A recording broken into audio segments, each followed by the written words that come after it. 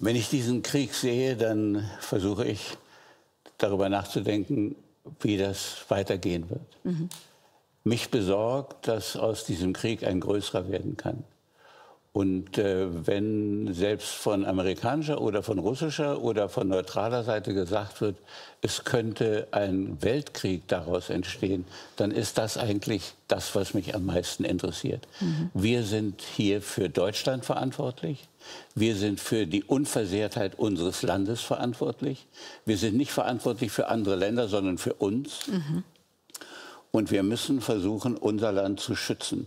Und ich habe ja eine NATO-Übung in Vertretung von Helmut Schmidt gemacht. Ich war der Chef sozusagen im Bunker damals. Und diese NATO-Übung hat dazu geführt, dass Russland leicht vorankam, war im Kalten Krieg noch. Und dass dann die USA, ohne mit uns darüber zu reden, auf deutschem Gebiet taktische Nuklearwaffen abgeworfen haben. Das war in welchem Jahr? Das war 79, 1979. Daraufhin habe ich mit meinem Vertreter Klaus Blech, der dann später Botschafter in Moskau wurde, einen Brief an Helmut Schmidt geschrieben, sagen, Herr Bundeskanzler, das geht doch nicht, dass wir von den USA überhaupt nicht gefragt werden, was die in Deutschland machen. Dann hat Schmidt mich empfangen und dann bin ich zum Bundeskanzler gegangen und habe gesagt, äh, das ist doch ein unmögliches Verfahren. Da hat er gesagt, ich weiß, das ist NATO-Strategie. Wenn ein solcher Angriff geschieht, werden bei uns nukleare taktische Bomben abgeworfen.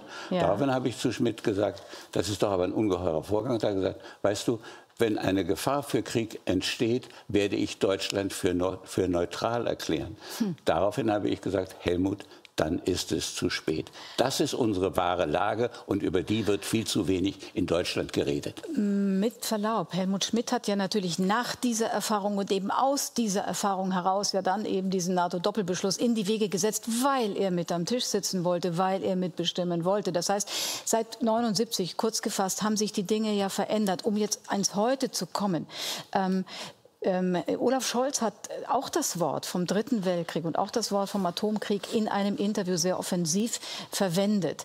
Haben Sie wirklich Sorge, dass die Situation, in der wir jetzt sind, in eine solche kommen könnte? Also ein Atomkrieg wäre wahrscheinlich nur ein Zufall weil keine der beiden Mächte, die hier Atom, über Atomwaffen verfügen, weder Russland noch die USA, einen Erstschlag machen würden, denn dann kriegen sie genauso einen Schlag zurück. Dafür sind beide Seiten gerüstet. Mhm. Das wirkliche Problem ist eine Ausweitung des Ukraine-Krieges auf Deutschland und das genügt ja. Es hat ja im vergangenen äh, Zweiten Weltkrieg keine Atomwaffen in Europa gegeben. Und trotzdem war Deutschland total zerstört. Ich wünsche, dass manche, auch manche der Zuschauer hier, sich mal die alten Bilder angucken, wie die Städte aussahen und was in diesen Städten geschehen ist. In Hamburg innerhalb von äh, drei Tagen 34.000 Tote, zivile, nur zivile Tote und 160.000 Verletzte bei einem großen, bei mehreren hintereinander laufenden Luftangriffen. Das sind die großen Gefahren. Wenn Sie das so sagen, dann klingt das so, als ob Sie, wir haben hinter uns Mariupol, äh, wo äh, nicht wenige sagen, das sind Bilder, die einen sehr stark an die Zerstörungen auch im Zweiten Weltkrieg erinnern. Wenn Sie das so sagen, dann klingt das ein bisschen so, und das müssen Sie richtigstellen, als ob es Ihnen darum ginge, äh, dass das, was da an Zerstörung passiert, möglichst da bleiben soll.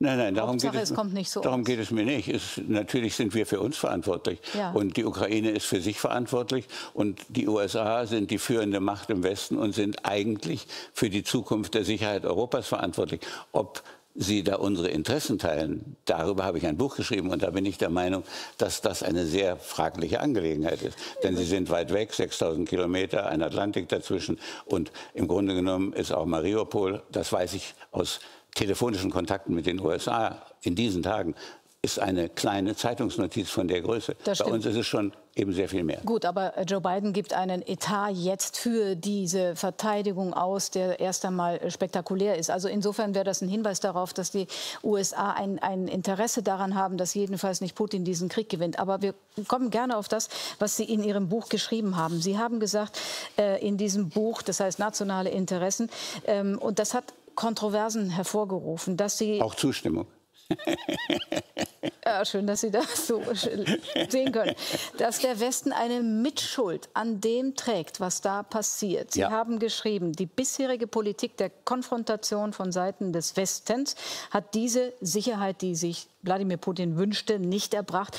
Könnten wir nicht statt der ständigen Dämonisierung Putins einfach mit einer normalen menschlichen Erfahrung beginnen? Nur im Dialog kann man erkennen, was der andere will und wo gemeinsame Fortschritte möglich sind. Also Politik der Konfrontation und Dämonisierung Putins.